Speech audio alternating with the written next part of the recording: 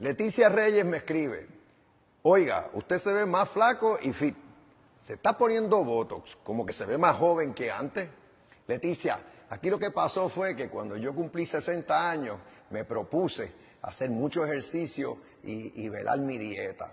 Y eso es lo que he hecho. Yo corro tres veces en semana y voy al gimnasio tres veces también y cojo un día libre. Y pues he cortado las frituras, los dulces, eh, las cosas engordantes. Eh, no he necesitado hasta ahora Botox, eh, pero sí, eso sí, exhorto a todos, todos los que ya tienen sus añitos, que cuiden su salud, podemos ser productivos por muchos años más.